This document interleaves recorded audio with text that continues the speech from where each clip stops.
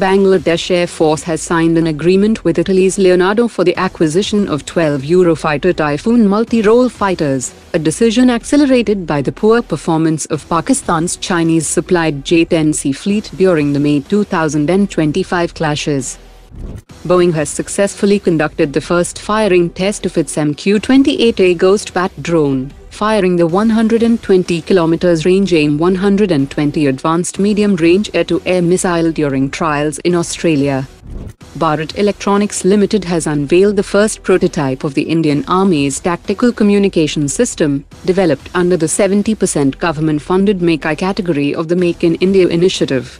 Mazagon Dock Shipbuilders Limited has signed a trilateral MOU with the Indian Navy and the Brazilian Navy, to enable a structured exchange of information on the maintenance upkeep and life cycle support of Scorpene-class submarines and other naval warships.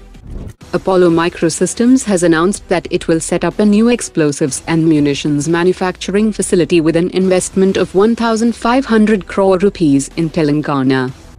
The Indian Army has successfully concluded the 19th edition of exercise Surya Kiran 2025 with the Nepal Army. Bhairav Robotics has unveiled the Vrishabh next generation unmanned combat all-terrain vehicle designed for frontline operations, including combat support, intelligence surveillance and reconnaissance, casualty evacuation, and logistics.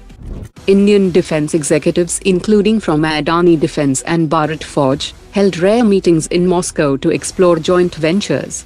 Discussions covered manufacturing MiG-29 spares and other Russian-origin systems, and setting up production units in India, possibly for export to Moscow and friendly countries.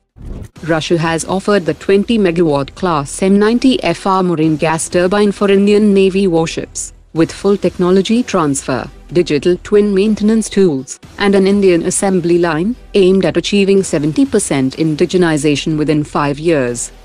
The DRDO and Israel Aerospace Industries have started work on a big upgrade to MRSAM system that includes modernizing sensors, enhancing radar performance, expanding detection range, improving response against high-speed and low radar cross-section threats, faster software and better multi-target algorithms to handle saturation attacks. The Indian Air Force has clarified that it will procure all 10 sanctioned squadrons of the indigenous Project Kusha air defense system, regardless of any additional S-400 purchases from Russia. Each Kusha squadron will field 8 launchers and about 150 missiles, totaling nearly 1,500 missiles across 10 squadrons, and Bharat Electronics and Bharat Dynamics are preparing production lines capable of 400 missiles annually.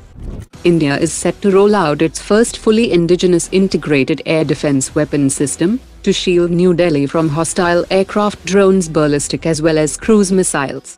The multi-layered shield will integrate QRSAM for medium-range threats and very short-range air defense systems and gun systems for low-altitude targets.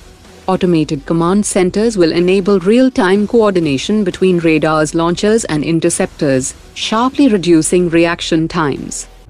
Hindustan Aeronautics Limited is preparing to hand over the first seven production standard Tejas Mark 1A fighter jets to the Indian Air Force before the end of the financial year by March 2026. All major air-to-air weapon trials are complete, while the last air-to-ground tests are nearing completion, with certification expected by mid-January 2026. Aeronautical Development Agency has begun the pre-flight calibration phase for the Tejas Mark II, marking a major step toward its first test flight. Aeronautical Development Agency has issued a tender focused on updating the aircraft aerodynamic and engine models, generating performance charts, and supporting early flight test preparations. Once flight testing begins, data gathered from the aircraft will be used to further refine these models, allowing engineers to safely expand its performance envelope. Today's top 3 comments.